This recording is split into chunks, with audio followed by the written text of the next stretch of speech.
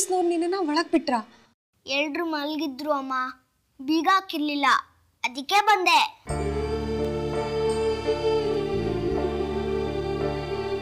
ಸರಿ. ಹೇಗಿದ್ಯಾ ಪುಟ್ಟ? ನಿನ್ ಸ್ಥಿತಿ ಮರ್ತು.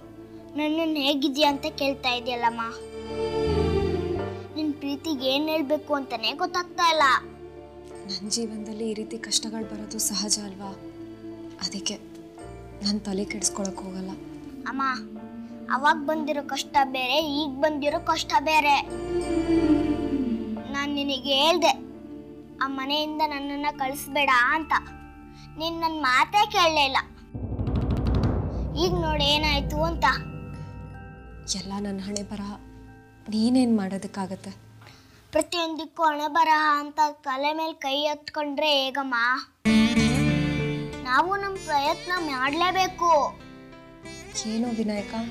ದೊಡ್ಡ ದೊಡ್ಡ ಮಾತುಗಳನ್ನ ಆಡ್ತಾ ಇದೆಯಾ? ಈ ಸಮಸ್ಯೆಯಲ್ಲಿ ನೀನೇ ಸಿಕ್ಕಾಕೊಂಡಿದ್ದು ನೀನೇ ಹೊರಗಡೆ ಬರಬೇಕು. ನಾನೇನು ಮಾಡೋದಕ್ಕಾಗತ್ತೆ ವಿನಾಯಕ?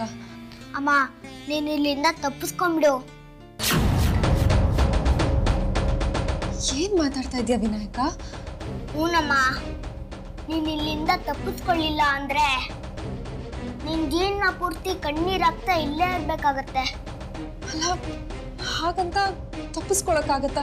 ಇದು ಮೋಸ ತಾನೆ? ಇದು ಮೋಸ ಆದ್ರೆ ನಿನ್ಗಾಗಿರೋ ಅನ್ಯಾಯ ಮೋಸ ಅಲ್ವಾ? ಅಮ್ಮ ನಿನ್ ತಾತನ ಕೊಲೆ ಮಾಡಕ್ಕೆ ಪ್ರಯತ್ನ ಪಟ್ಯಾ? ನಾನು ಯಾಕಪ್ಪ ತಾತನ ಕೊಲೆ ಮಾಡೋದಕ್ಕೆ ಪ್ರಯತ್ನ ಪಡ್ಲಿ? ಮತ್ತೆ ನಿನ್ ತಪ್ಪು ಮಾಡ್ದೆ ಶಿಕ್ಷೆ ಅನುಭವಿಸ್ತಾ ಸರಿನಾ? ಮೋಸ ಅಲ್ವಾ? ನನ್ನನ್ನ ಮನೆಯಿಂದ ಆಚೆ ಕಡೆ ಕಳಿಸಿ ತಪ್ಪು ಮಾಡಿದ್ಯಾ? ಈಗ ನನ್ನ ಮಾತು ಕೇಳ್ದೆ ಮತ್ತೆ ತಪ್ಪು ಮಾಡಬೇಡ. ನನ್ನ ಮಾತು ಕೇಳಮ್ಮ. ನೀನ್ ಇಲ್ಲಿಂದ ತಪ್ಪಿಸ್ಕೋ, ನಾನು ಸಹಾಯ ಮಾಡ್ತೀನಿ. ನೀನ್ ತಪ್ಪು ಮಾಡದೇ ಇದ್ರು ನಿನಗೆ ಶಿಕ್ಷೆ ಆಗೋದು ಯಾವ ರೀತಿ ಸರಿ? ನೀನೇ ಯೋಚನೆ ಮಾಡು.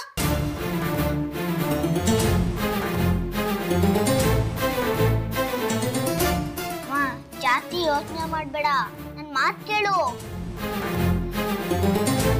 ನಿಂದ ತಪ್ಪಿಸ್ಕೋ. ಉಳಿದದ್ದನ್ನ ನಾನು ನೋಡ್ಕೋತೀನಿ. ಆಯ್ತಪ್ಪ. ನೀನು ಹೇಳ್ತಾ ಇದೆಯಾ ಅಂದರೆ ನಿನ್ನ ಮಾತಲ್ಲಿ ಏನೋ ಅರ್ಥ ಇದೆ ಅಂತ ಅನ್ನಿಸ್ತಾ ಇದೆ.